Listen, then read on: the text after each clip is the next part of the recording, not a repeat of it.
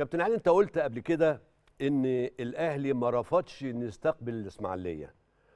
وفي حاجة كده مش عاوز أقول عقده ولا حاجة إحنا كلنا أسرة واحدة وكلنا شعب واحد بنشرب من مية واحدة والكلام ده.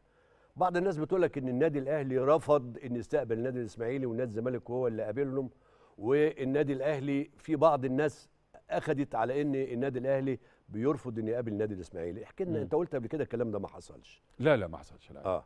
لا لا ما كانش فيه أي يعني ال ال ال ال الحديث وقتها عن النادي الأهلي ما كانش فيه أي كلام مع النادي الأهلي على على الموضوع ده. آه. هو هو حسن حلمي رحمة الله عليه بفراسة كده هو الراجل قال الإسماعيلي ما عندنا بنستضيفه عرض. إن يستضيف لأن إحنا كنا وقتها كابتن مصطفى قاعدين في مركز شباب. أيوه مركز شباب أنت الجزيره يمكن لحقت شوية في الآخر آه طبعا. ما كنا ما يعني مع تومسون. بالظبط كده. آه. فكنا قاعدين في مركز شباب. مم. يعني لعبنا وكنا قاعدين في في في مكان لسه ما اتبناش حتى مكان. بعد كده المهندس عثمان عمل مكان لكن مظبوط. كنا قاعدين اياميها في خيم. أيوه. بنتمرن ونغير ونح- وكان الله يرحمه حسن مختار يقف بالخرطوم يح- يحمينا. كنا الله يرحمه آه. والله. كان يقف بالخرطوم يحمينا بعد التدريب بالخ- كده. أو في جامع كنا نخش الجامع. في جامع اول ما تنزل سلمتين كده ثلاثة في جامع على يمينك كده كنت ساعات في الجامع. يعني أنا عاوز أقول للعيبة اللي موجودة ديت أنتوا في نعمة ما بعدها نعمة. ربنا يديمها عليكم.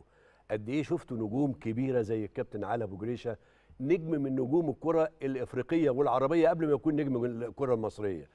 وشفتوا قد إيه كل الجماهير أجمعت على إن كابتن علي أبو جريشة ده حاجة فاكهة الهر زي ما اللي عاوز يقول يقول. شوفوا عانوا قد إيه؟ اتهجر من بيته اتهجر من ملعبه اتهجر لبلد تانية جه هنا بيستحمى بخرطوم زي ما هو بيقول عشان خاطر بيحب الكورة. وادى للمنتخب مصر لعب في سنة 70 في السودان وده هنتكلم عليها ولعب سنة 74 هنا في قدام في الأمم الأفريقية. يعني أنا بقول ليه كده؟ قد إيه اللعيبة دي عانت وقد إيه اللعيبة ده يعني الاسم والشهرة اللي خدها ما جاتش من فراغ.